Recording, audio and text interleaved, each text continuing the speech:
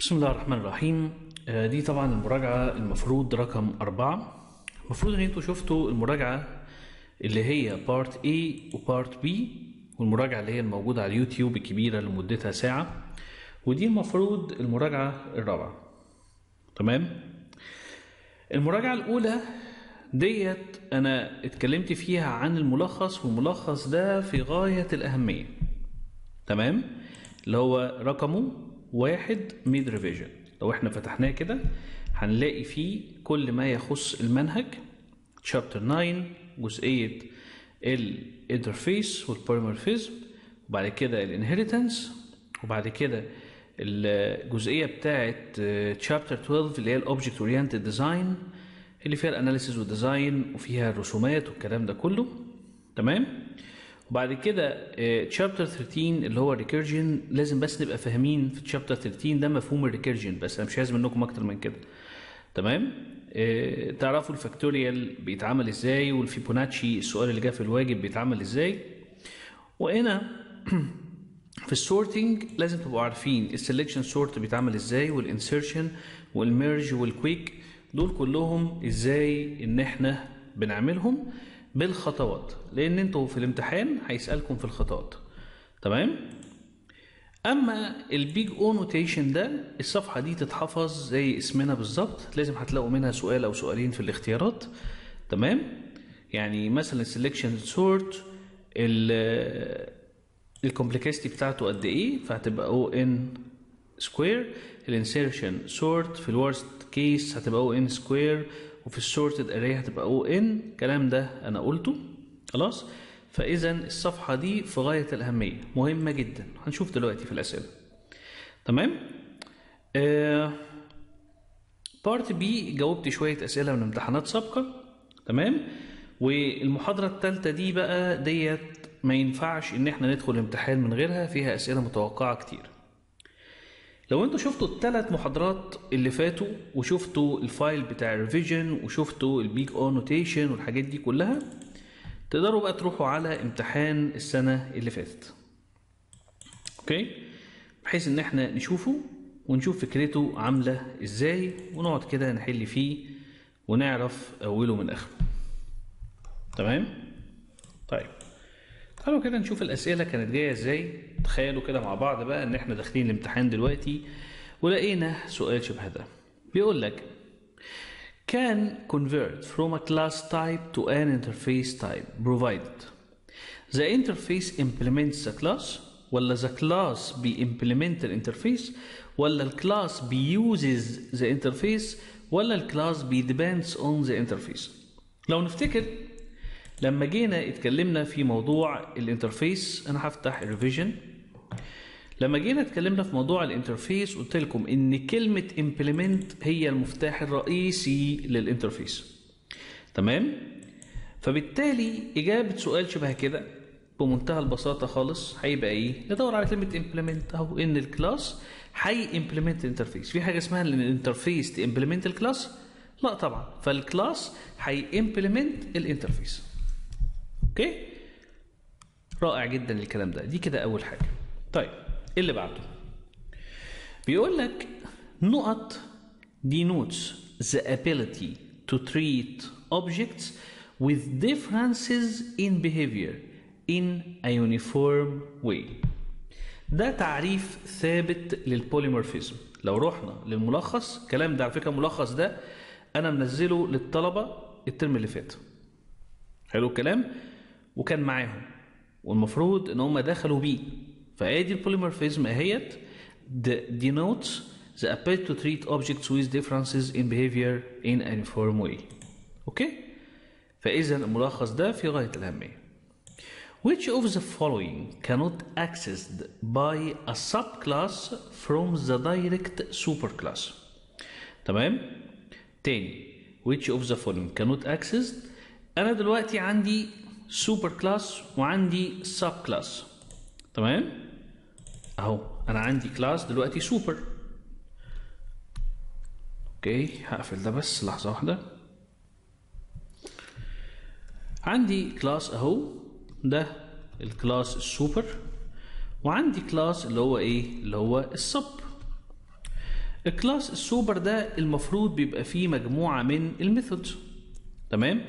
وقلنا إن أي method بيبقى ليها حاجة اسمها access modifier وال access modifier دوت زي ال public زي ال private زي ال protected إلى آخره. طيب ال sub class ده لما بيرث ال super class تمام؟ يا ترى بيقدر ي access منه إيه؟ بيقدر ي access منه كل حاجة ما عدا ال private ال private ديت أوضة خاصة بالسوبر. أنا شرحت كده في الدروس اللي يفتكر. فبالتالي which of the following cannot access by a subclass from the direct superclass ال private variables of the superclass. تمام؟ ولو نلاحظ هنا في الملخص أهو هتلاقوني عامل لكم جدول جميل قوي. بقول لكم فيه كل حاجة. ان ال public لو حاجة عندي public في ال own class ماشي في ال package ماشي في ال sub class ماشي في ال all packages classes ماشي. ال private بس ده بيتشاف جوه ال own class تمام؟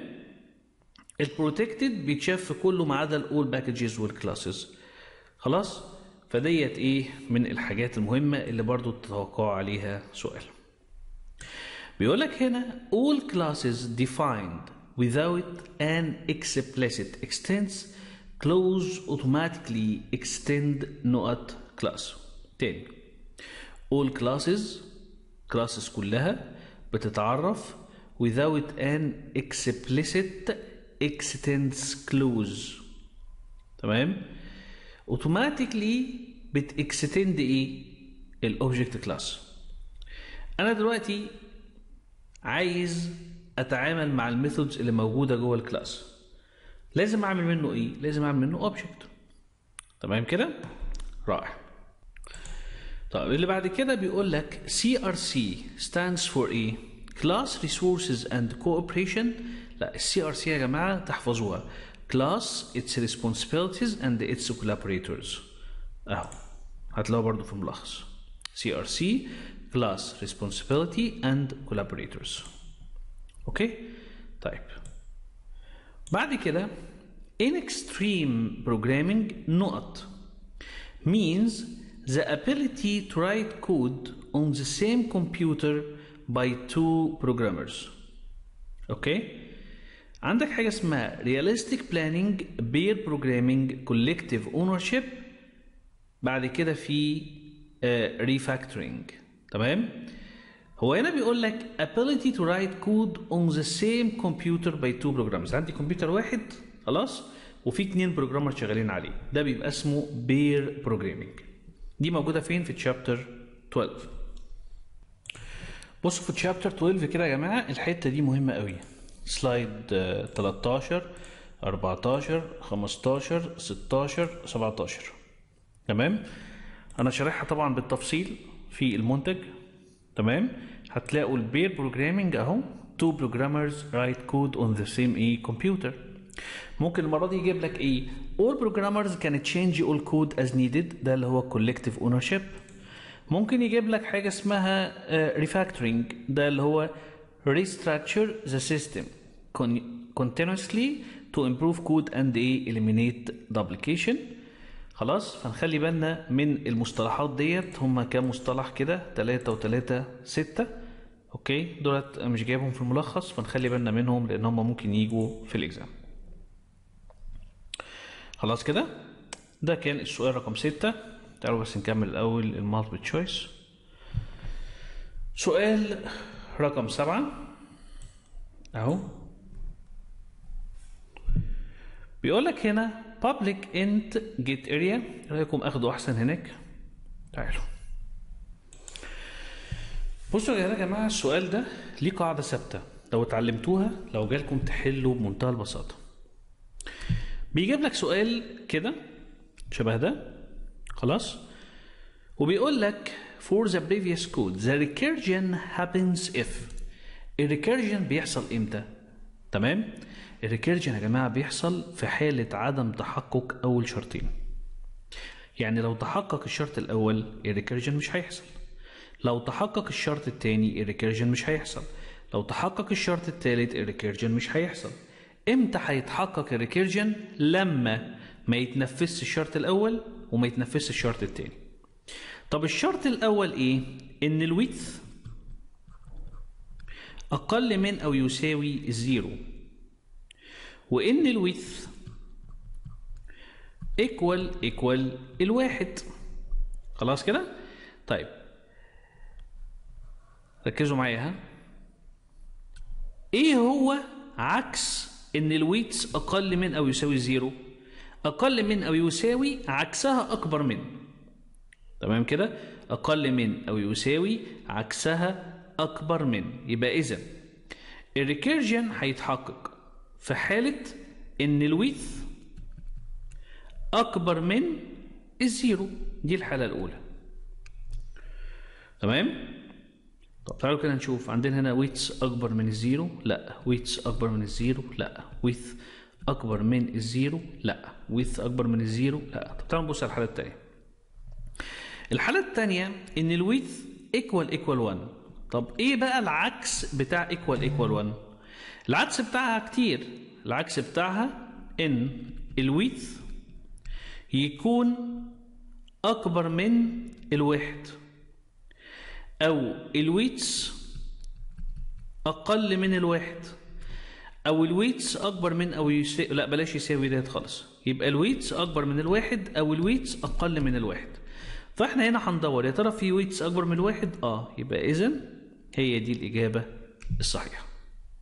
فلو جالنا سؤال شبه ده تاني هنعمل إيه؟ هنبدأ نختبر أول if ونجيب عكسها. ونبدأ نختبر نختبر تاني if ونجيب عكسها. خلاص؟ أنا هنا جبت كام حالة؟ جبت واحد اتنين تلاتة. لو واحدة من دول موجودة تبقى هي دي الإجابة الصحيحة. أوكي؟ ده كده مين؟ ده كده رقم سبعة. طيب.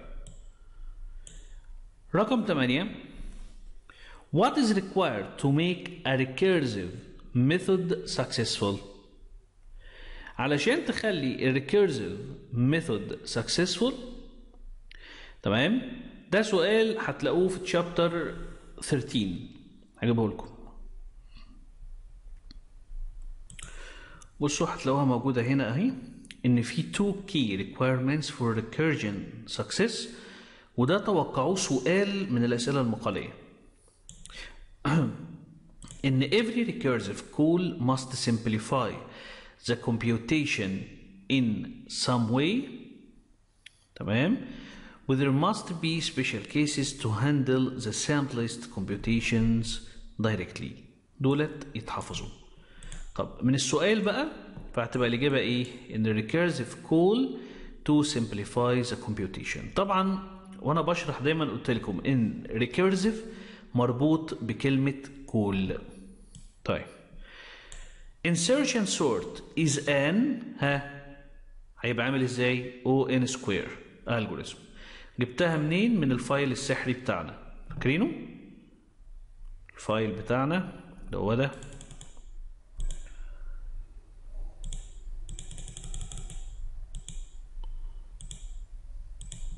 أهو. Insertion sort أو n تربيع توقعوا سؤال فيه ده لازم. في المراجعة برضو بتاع ال term اللي فات قلت لهم كده وجاه سؤال فيه. طيب يا ممدوح عندنا إيه تاني؟ فين؟ أهو. After iteration of selection sort working on an array of 10 elements what must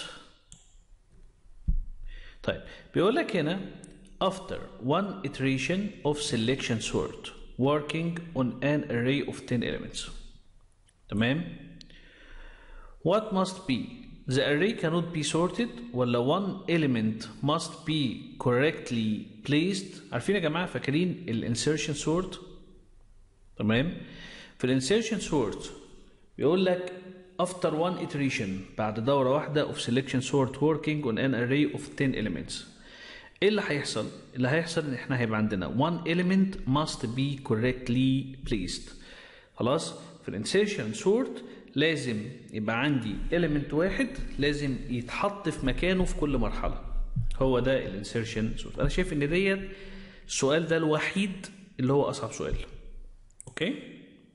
طيب بعد كده السؤال التاني صح وغلط بيقول لك بقى A class can implement only one interface type الكلام ده صح ولا غلط يا جماعة؟ ها ال class بي implement واحدة interface واحدة طبعا لا ال class ينفع ان هو implement more than one interface تمام طيب the super reserved word is used to invoke a method of the super class in its derived class. يعني أنا عندي دلوقتي super class وعندي sub class. لو أنا عايز أنادي على السوبر كلاس هقول له إيه؟ هقول له سوبر تمام؟ فالكلمة كلمة صحيحة. Analysis pro. طب يا ترى الحاجات دي موجودة؟ تعالوا نشوفوا كده ملخص يمكن أنا بألف. تعالوا كده. هاتوا كلمة سوبر تعالوا نعمل عليها search يلا بينا. أنا ما أعرفش على فكرة أنا بدور معاكم إيه. أنا مش محضر على فكرة أنا قاعد دلوقتي حالا أهوت. أهو. super super super super super.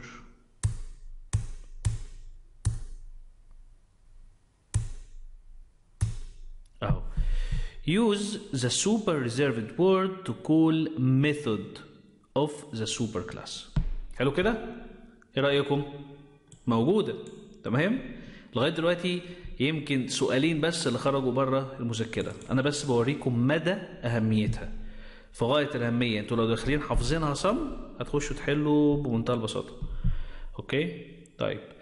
آه في كمان موضوع إن ال class بي implement more than more than أو بصوا ال class كان implement more than one interface type. خلاص؟ الحياة سهلة؟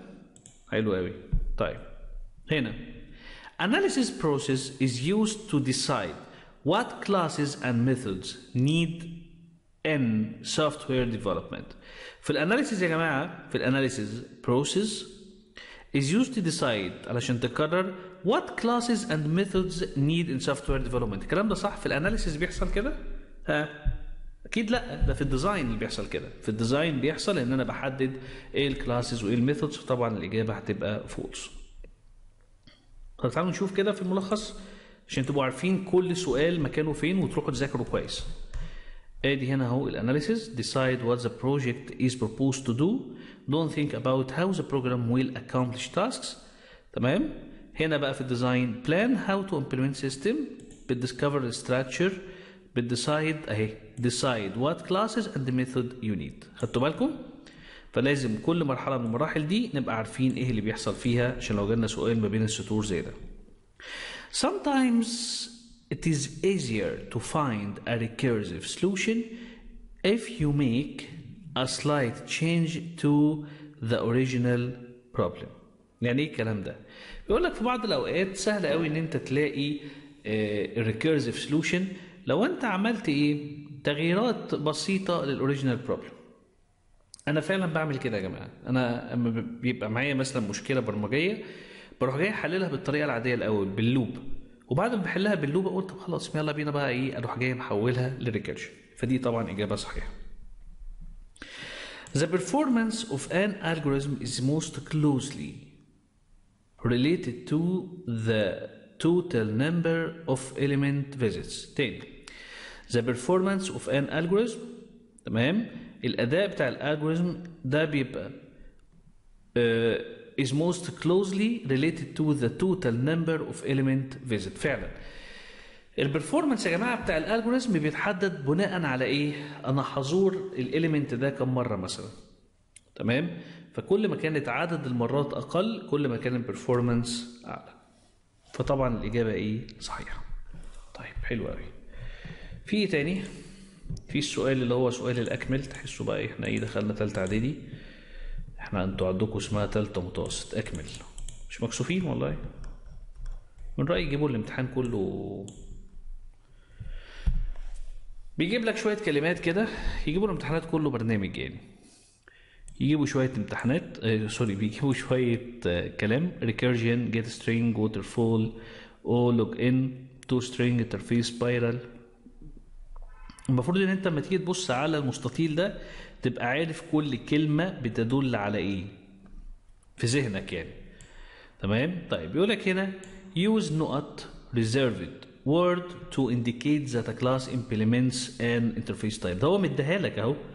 يعني هو أصلا مديها لك في الإجابة. إيه اللي بيخلي ال class ي implement ال interface؟ كلمة implements. تمام؟ جميل. فكلمة implements كده خلاص. طيب نقط is a method in object class returns a string representation of the object طبعا to string احنا طول ما احنا شغالين في الجافا بنقول له to string In نقط model the lessons learned from development of one prototype can be applied to the next iteration طالما ذكرت كلمة iteration فدي مربوطة بالسبايرال موديل نقط is a programming technique in which a method can call itself. Call itself يبقى recursion. تمام؟ السؤال الثاني من ال file إيه؟ ال file السحري الثاني دوت فاكرينه؟ هو ده. ماشي؟ بيقول لك merge sort is an a تعالوا كده نشوفها. ادي merge sort أو log n اهو. أو n log n الجوريزم. يبقى اذا الملخص والورقة السحرية بتاعت الالجوريزمز في غاية غاية الأهمية. أصل هو هيجيب منين تاني يا جماعة؟ هي واحد زائد واحد يساوي اتنين. بعد كده بقى بيقول لك answer the following questions briefly. هجيب لك سؤال مقالي وسؤال find the output في الغالب يعني. السؤال المقالي بيقول لك give three differences between interfaces and the classes.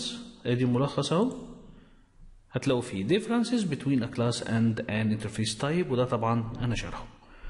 أوكي؟ أنت لو اديت له بس الجدول الجميل ده خلاص كده أنت خدت ثلاثة من ثلاثة آه هنا what is output of the following code تمام؟ طيب بصوا كده يا جماعة. إحنا عندنا في chapter 9 and chapter 10 chapter 9 بيتكلم في موضوع ال interface و chapter 10 بيتكلم في موضوع ال inheritance تمام؟ بمنتهى البساطة كده. بمنتهى البساطة. ال interface دي يا جماعة نقدر نقول عليها حاجة كده وسيطة. أوكي؟ يعني أنا ابقى قاعد كده أقول والله أنا عندي class A و class B و class C إلى آخره. class A ده هيبقى فيه method اسمها X و method اسمها Y و method اسمها Z. رحت أبرمج class B لقيت إن أنا برضو هيبقى عندي X وY و Z رحت أبرمج class C لقيت إن أنا هيبقى عندي إكس وواي وزد إيه ده؟ أنتوا عارفين أصلا ال OOP أو ال object oriented programming هدفها الأساسي إيه؟ إن أنت ما تكتبش أكواد كتير. صح كده؟ فقال لك طيب طالما إن أنت عند حضرتك في class A و class B و class C بتكرر نفس ال methods ديت خلاص. خد ال method المتكررة ديت تمام اللي هي الاكس والواي والزد وحطهم في interface تمام؟ قول عليها public interface كوكو مثلا. وافتح curly واقفلها. وقول والله ال interface ديت فيها public x. افتح قوس واقفله. و public y افتح قوس واقفله. و public z افتح قوس واقفله. انت خلاص اهو عملت إيه؟ ال interface. حلو الكلام؟ إيه اللي هيحصل بعد كده بقى؟ ركزوا معايا. اللي هيحصل بعد كده إن أنا رحت أبرمج class ال A أوكي؟ رحت أبرمج class ال A فقلت له يا A؟ أنت هت implement كوكو. يبدأ ال system يدور على مين كوكو ديت. كلمة implement دي بالنسبة لل system معناها إيه؟ إنها interface فهيروح يدور في قسم ال interfaces على interface اسمها كوكو. هيلاقي فيها 3 methods اللي هي الاكس والواي والزد ف automatically automatic هيروح جاي منزل إكس وواي وزد وأنا أبدأ أكتب الأكواد بتاعتي جواها إيه اللي حصل بقى؟ اللي حصل إن أنا وفرت علي عليا عناء كتابة الأكواد.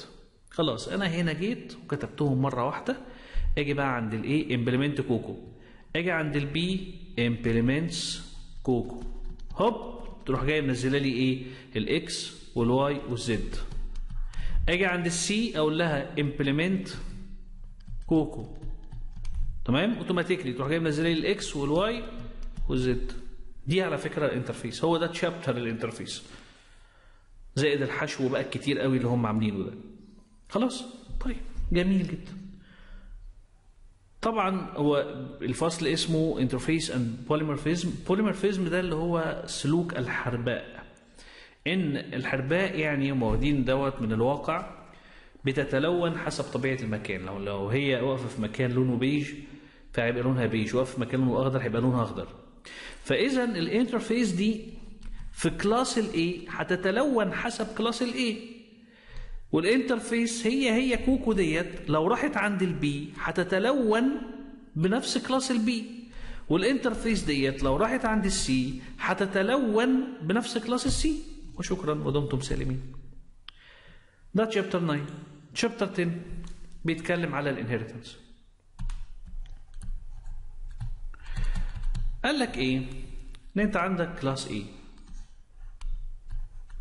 class A دوت حضرتك رحت عملت فيه method اسمها X و method اسمها Y أهو بصوا تعالوا أربط لكم الدنيا كلها ببعضها.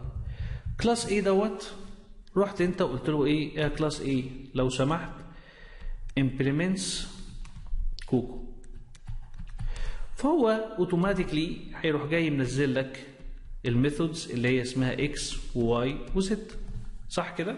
حلو قوي بصيت لقيت وأنت بتبرمج إن أنت عندك class اسمه B و class ال B ده فيه نفس محتويات class A بالظبط وزيادة حتة.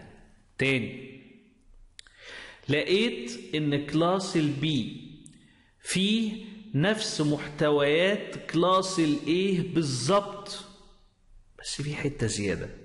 تمام؟ تروح أنت بقى تعمل class ال B من الأول خالص وتقعد تكتب فيه الأكواد اللي انت تعبت وشقيت فيها في class ال A وبعد كده تروح جاي ضايف الحتة الزيادة قال لك لا يا سيدي ريح بالك بقى. انت كل اللي هتعمله ان انت هتعمل class B خلاص؟ وهتقول له بس كلمة إيه؟ extends extend تمام؟ extend مين ال A فلما قلت له extends ال A فهو automatically automatically هينزل فيه الاكس والواي والزد تمام؟ وزود بقى انت من عندك كمان ال A method اسمها إيه يبقى أنا كده في class ال B ده تعبت ولا ما تعبتش؟ لا والله ده أنا كل اللي عملته قلت له إيه يا B أنت فيك نفس محتويات ال A بس أنا والله مكسل أكتب الأكواد. بس هكتب لك كده كلمة اللي هي extends ال A روح اورث كل اللي موجود في ال A حلو الكلام؟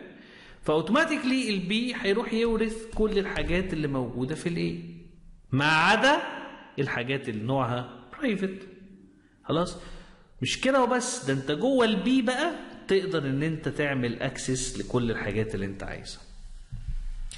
ادي الفصل التاسع والعاشر طبعا بمنتهى الاختصار. ولكن ما تعتمدوش على اللي أنا قلته ده بس. لا برضو بصوا فيه عشان تعرفوا الدنيا ماشية إزاي. طيب حلو قوي الكلام ده. تعالوا ناخد كده السؤال ده. تمام؟ ونشوف فكرته إيه. هنا عمل متغير.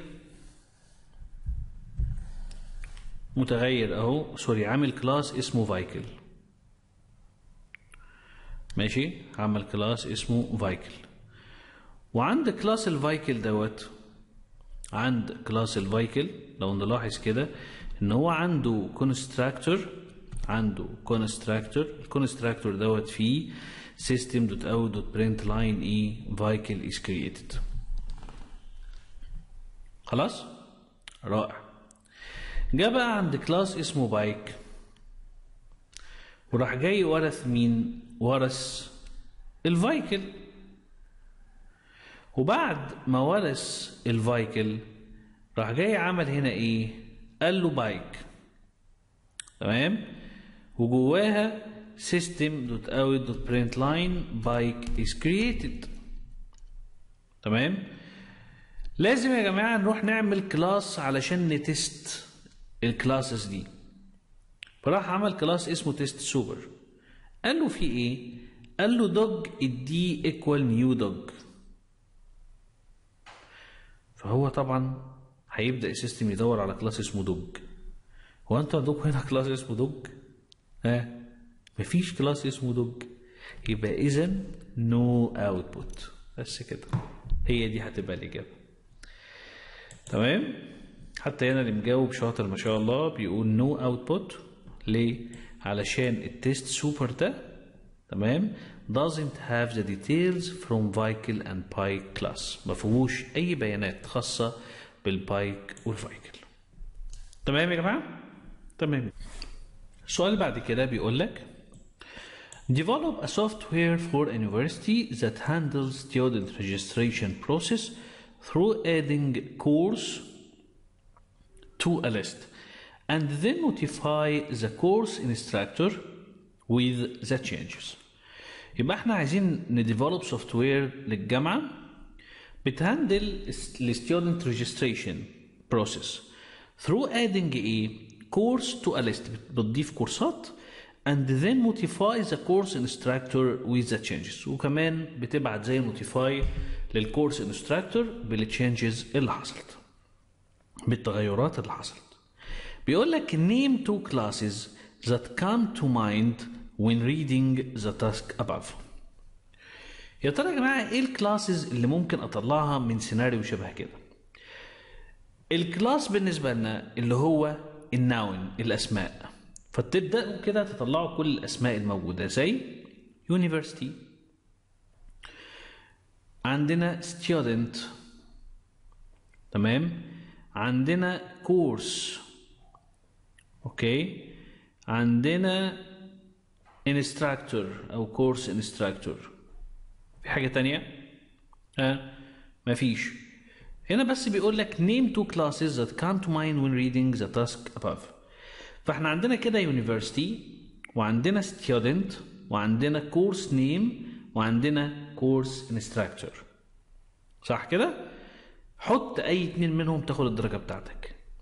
يبقى السيناريو بتاعنا لما يجي لنا بنطلع منه الأسماء. خلاص؟ لو قال لك بقى طلع لي ال methods فتبدأ تدور على إيه؟ على ال verbs زي إيه؟ That handle student registration process. Registration ده بالنسبة لنا verb فإذا يعتبر method إن ال student هي register through adding a course to a list. Adding. ها. يبقى إحنا عندنا كده add a course. دي كده method. And then notify. ده بالنسبة لنا verb. فإذا بقى عندنا method اسمها notify the course's instructor. واخدين بالكم؟ فإذا أي سيناريو لما يجي لنا لازم أدور على الناون والverbs. الناون أخليها classes. والverbs أخليها methods. جايب لك سؤال recursion ومبدئيا. أي سؤال recursion في الدنيا من غير if statement يبقى سؤال خطأ على طول. لازم يبقى فيه if statement علشان السؤال يبقى صحيح. اتفقنا؟ هنا بيقول لك would the previous recursive method work successfully? Explain the reason. طبعا طالما إن أنا ما عنديش if else فبالتالي الريكيرجن ده أو السؤال دوت إيه؟ مش هيشتغل. تمام؟ فهنا قالت له إيه؟ No it will not because we need to add if else. تمام؟ فديت الفكرة بتاعت السؤال. جميل خالص الكلام دوت. لغاية دلوقتي يا جماعة أنا شايف إن الامتحان طبعا هو مش شايف يعني هو في شغل بس لو إحنا مذاكرين هنعرف نجاوب. Complete the following code that recursively computes x where x and n are both non-negative integers. خلاص؟ المفروض إن الاكس والان دولت مالهم؟ المفروض إن هما non negative integers مش negative كلهم positive. خلاص؟ فبالتالي هو بيقول لك كمل لي الكود اللي جاي recursively هو عايزك تجيب إيه؟ عايزك تجيب ال power عايزك تجيب ال power اللي حالل هنا تمام؟ كاتب fact هو حافظ على فكرة. هو علشان واخد ال factorial فهو حافظ. تمام؟ فالمفروض إن أنا هنا بقول له if n equal equal 0 لو كانت ال n ب zero المفروض إن هنا هيرجع لي حاجة. صح كده؟ طب هو هنا عايز يجيب ال power عايز يجيب ال power خلاص؟ طب ال power دوت هيديله إيه؟ هيديله x و n فلو كانت يعني مثلا عايز أقول له إيه هات لي factorial هات لي power الخمسة والتلاتة. تمام؟ فلو كانت ال n ب zero يا جماعة يعني لو جيت قلت له هنا خمسة و zero خمسة أس zero بكام؟ هيديني واحد. فبالتالي لو ال n بتساوي zero فإذا رجع لي return واحد. تمام؟ وإلا ها؟ وإلا رجع لي دايما يا جماعة دايما بعد ال if كلمة return وبعد ال else كلمة return رجع لي إيه بقى؟ رجع لي المفروض حل السؤال إن أنا بجيب ال power خلاص كده بتاع ال x أس إيه أس ال n خلاص؟ تعالوا أعملها لكم عملي أحسن على ال blackboard طيب إحنا كده حلينا الجزء الأولاني ده اللي هو إحنا قلنا له فيه إيه؟ return واحد. خلاص؟ طيب هنا. وإلا؟ هقول له إيه بقى؟ وإلا؟ ها؟ وإلا؟ مهم قوي ده بقى ركزوا فيها برضه هيبقى return طب return إيه؟ هو إيه اللي بيحصل يا جماعة في ال power اللي بيحصل في ال power إن أنا مثلا قلت له هات لي power خمسة وتلاتة. okay؟ فأول مرة خالص المفروض إن هو لما يجي يدخل هيجيب إيه؟ هيجيب يعني هو المفروض بياخد x و n تمام كده؟ ال x ديت بكام؟ بخمسة. صح كده؟ فالمفروض إن هو هيحسبها إزاي؟ هيحسب خمسة. تمام؟ في المفروض يعني خمسة في خمسة عشان يجيب خمسة أس تلاتة طيب الخمسة الأولانية ديت أنا هقول له إيه؟ هقول له لو سمحت هات لي ال x اللي هي خمسة الأولانية ديت في في كام؟ روح بقى ونادي على نفس الدالة اللي هي ال power ديت تمام؟ وال power هتاخد نفس الموضوع بالظبط اللي هو مين بالنسبة لي؟ اللي هو ال x طب يا ترى هتاخد n لا. هتاخد n minus 1 إزاي؟ ما هو تاني مرة power x و n minus 1 n minus 1 ديت. هي ال n كانت في الأول بكام؟ كانت بتلاتة. تاني مرة هتبقى باتنين. صح كده؟ فكأني بالظبط بقول له تاني مرة اضرب لي خمسة في الاكس بكام؟ ما زالت بخمسة. خمسة أس اتنين هيديني خمسة وعشرين. تمام كده؟ تالت مرة هيروح جاي عامل إيه؟ ها؟ أنا طلع لي الناتج دلوقتي خمسة وعشرين. هروح جاي ضربه في مين؟ في power x n minus 1 هي ال n كانت بكام؟ كانت باتنين. خلاص كده؟ المرة اللي بعد كده هتبقى ال n بكام؟ بواحد. فواحد ناقص واحد هيديني zero. تمام؟ فلما أقول power x تمام؟ أس zero. أس إس zero هو أنا قايل له إيه؟ لما تلاقي zero رجع لي واحد. فيروح جاي مرجع له واحد. يضرب بقى خمسة في خمسة وعشرين في واحد هيدينا كام؟ مية خمسة وعشرين اللي هي خمسة أس تلاتة. تمام؟ فده طبعا سؤال تفكير واكيد مدي عليه درجة كبيرة. معرفش كام بس هو مدي عليه درجة كبيرة يعني. خلاص؟ طيب في إيه تاني عندنا؟ السؤال دوت اللي هو what does the selection sort algorithm go through to sort the sequence? 6 5 4 3 2 1 المفاجأة بقى إن السؤال ده أنا شرحه في ال broadcast. هو هو copy paste ده الدرس بتاعنا. تمام؟ وادي الشرح بتاعه اهو هنزله لكم دلوقتي. زي ما أنتم شايفين كده ده فعلا سؤال امتحان سابق. تمام؟ بيبتدي يقول لك هنا fill in the following table to show the steps. عايز الخطوات. In which the selection sort algorithm? Go through to sort the sequence 6 5 4 3 2 1 أوكي طيب طبعا هو قال إيه؟ selection sort. فلازم أبقى عارف يا جماعة النوع اللي أنا هستعمله. طيب أول خطوة قلنا إن إحنا بنعمل إيه؟ بندور على أصغر قيمة. ها أصغر قيمة هنا فين؟ طبعا هتبقى ال1 أروح جاي عامل إيه؟ خلاص بقى أنا عرفت الطريقة. أحط نجمة كده تحتها وأبدلها مع أول واحدة. فهجيب الواحد هنا وأنزل الباقي زي ما هو. تلاتة اتنين واجيب الستة هنا. كده أنا بدلت الواحد مكان الستة. والواحد ده أعمل فيه إيه؟ مش عايزه. أروح بعد كده عند الليستة اللي فاضلة اللي هي دي. تمام؟ وابتدي أسألها مين أصغر قيمة فيكي؟ فهتقول لي اتنين. تمام؟ أعمل إيه في الاتنين؟ أروح جاي مبدلها مع أول قيمة اللي هي خمسة. وأروح جاي منزل القيم بعد ما أعمل عملية السواب. فهتبقى القيم عندي واحد. الاتنين هتيجي مكان الخمسة هتبقى اتنين. وبعدين أربعة تلاتة وطبعا خمسة هتيجي مكان الاتنين خمسة ستة. أعمل إيه؟ منساش أشيل الواحد وأشيل الاتنين. هيتبقى عندي إيه؟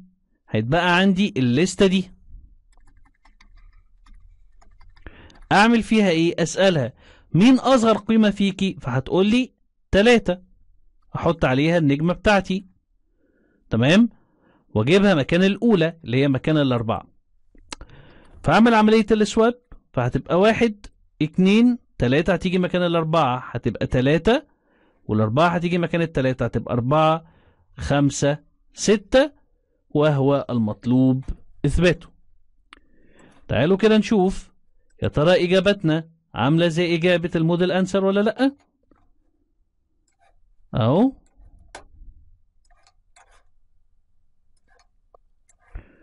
زي ما أنتوا شايفين كده أول سطر هيبقى واحد خمسة أربعة تلاتة اتنين ستة صح؟